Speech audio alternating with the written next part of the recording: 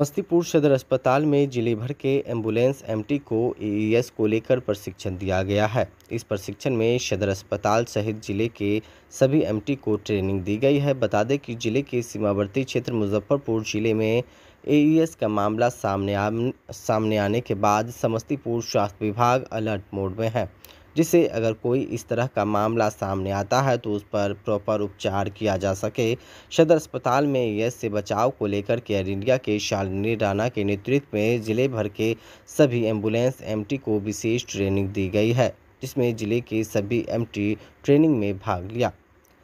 बता दें कि एईएस से बचाव को लेकर ज़िले भर के सभी एमटी को एयर इंडिया के ओर से ट्रेनिंग दी गई है। वहीं इस मामले में डॉक्टर गिरीश कुमार ने कहा कि फ़िलहाल समस्तीपुर ज़िले में ईएस का मामला सामने नहीं आया है, परंतु इसको लेकर प्रशासन पूरी तरह अलर्ट मोड में है। ईएस मरीज़ के लिए पीकू वार्ड में व्यवस्था की गई है। साथ ही उन्होंने कहा कि दवा की भी पूरी व्यवस्था है और इस समय बच्चों को ज़्यादातर देखा जा सकता है। खास तौर पर रात में बच्चों को खाली पेट सोने नहीं दे, भूख रहने की स्थिति में यह बीमारी ज़्यादा कर असर करता है। तो ए जो है एक्यूट एनसेफलाइटिस सिंड्रोम ये हर साल हमारे बिहार में और बाकी और अन्य क्षेत्रों में भी जहाँ गर्मी ज़्यादा बढ़ती है, वहाँ पे ये बच्चों को ये बीमारी हो जाती है। पंद्रह साल तक के बच्चे इससे ग्रस्त हो जाते हैं। और ये बीमारी इतनी गंभीर है कि इससे बच्चों की मृत्यु भी हो जाती है, अगर उन्हें समय पर इलाज ना दिया जाए।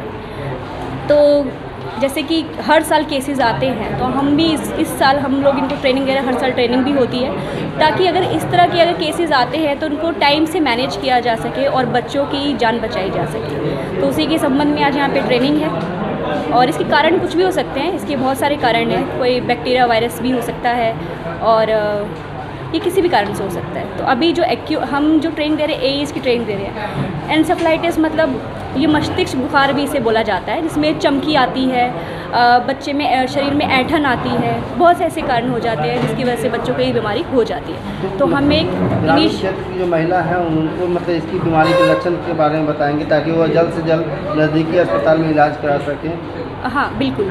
तो इसकी जो लक्षण है वो यही है कि शरीर में ऐंठन आएगी ठीक है?